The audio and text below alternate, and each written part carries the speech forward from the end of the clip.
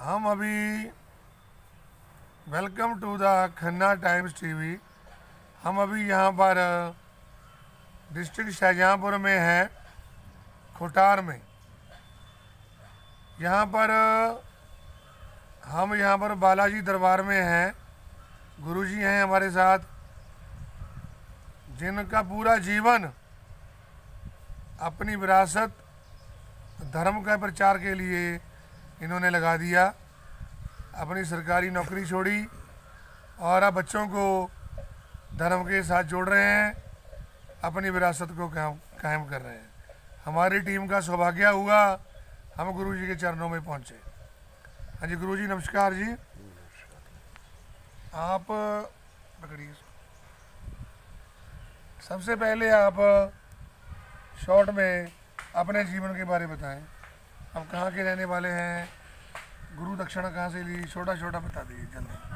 मेरी मूल जन्मभूमि कानपुर डिस्ट्रिक्ट और गाँव है मेरा मंदना। मंदना का मैं मूल निवासी और मंदना में रहते हुए मैंने शिक्षा प्राप्त की उसके बाद में बीएसएनएल का डीजीएम हुआ। ठीक है उसको त्याग देने के बाद में वैराग्य हुआ।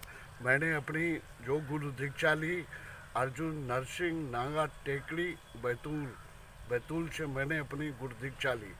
गुरु दीक्षा लेने के बाद में मैं जनमानस के अंदर एक सद्भाव, सद्विचारों का घोषणा बनाने के लिए निकल पड़ा।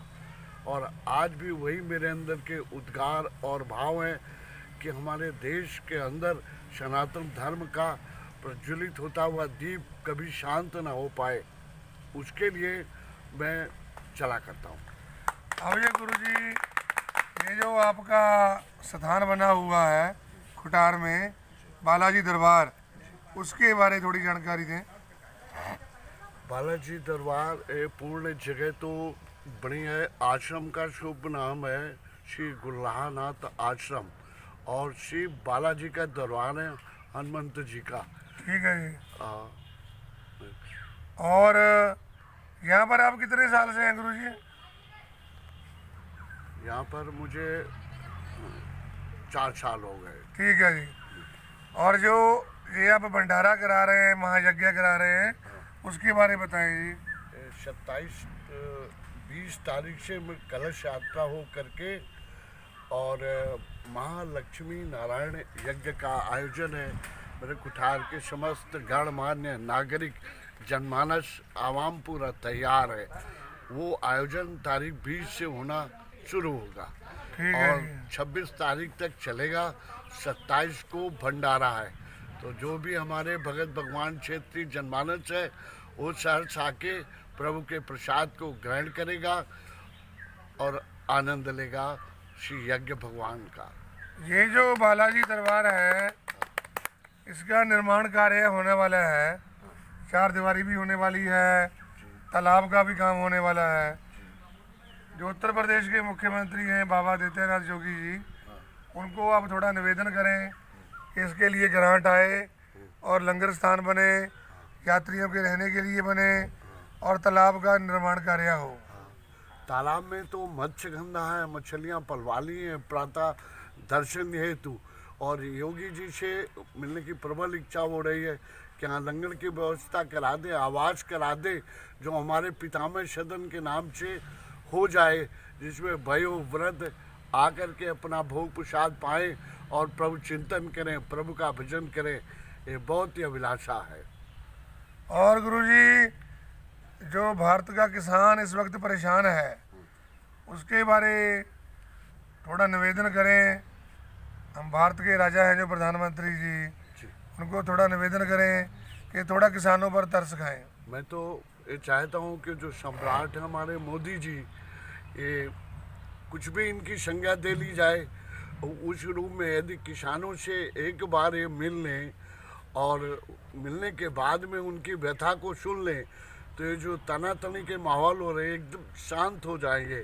किसान अन्नदाता है, प्रकृति को जोत के वो तैयार करता अन्न पूरे आवाम को देता है। तो उसके साथ अगर ये जाके एक बार भोजन भी पालें बैठ के तो मेरा सौ परसेंट अनुमान है कि हमारे अन्नदाता शांत हो जाएँगे और प्रजा खुशहाल हो जाएगी और सम्राट का कुछ भी असर नहीं होगा।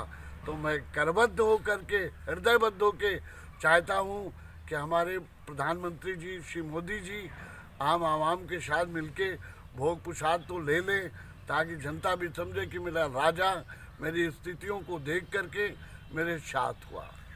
जो गुरुजी सत्तर पचहत्तर किसान वहाँ पर शहीद हो चुके हैं उनकी आत्मिक शांति के लिए भगवान को थोड़ा प्रार्थना कर दें। हाँ मोदी जी से अब मैं मेरे शब्दों को अगर उन तक पहुँच जाएँगे तो अति अच्छा होगा। वो प्रार्थना कर ले और जहाँ तक हो सके जो पढ़े हुए हैं उनके प्रति सद्भाव के इनको तमाम आदेश कर देने चाहिए। तो कृषक मान लेगा। वो तो अशिक्षित भी हैं, जो शिक्षित भी हैं, वो सब एक ही लाइन में चल रहे हैं। तो मोदी जी अपने विचारों, उद्गारों को किसानों के प्रति समर्पण कर दें एक ही बार तो आवाम शांत हो जाएगा, पूरा देश खुशहाल हो जाएगा। जो जिन परिस्थितियों में गुजर रहा है, इस शीत काल में पड़ा हुआ कोई पत्थरों पे, कोई रोडों पे, उनके कुछ ही विषय की बातें, उन्हें मान लें तो क्या बिगड़ेगा? बहुत बहुत धन्यवाद गुरु जी हमें बहुत अच्छा लगा। गुरु जी ने बहुत ही शॉर्ट तरीके में बोली है। और इससे बड़ा एक पिता अपने बच्चों को क्या शिक्षा दे सकता है? बहुत अच्छा लगा। हम भी उत्तर प्रदेश के मुख्यमंत्री जी को निवेदन करते हैं कि इस स्थान का निर, पुनर्निर्माण कार्य होने वाला है। कृपया आप यहाँ पर धनराशि जारी की जाए। ताकि यहाँ पर 24 घंटे लंगर चले और तालाब का भी काम होने वाला है। जय जवान जय किसान।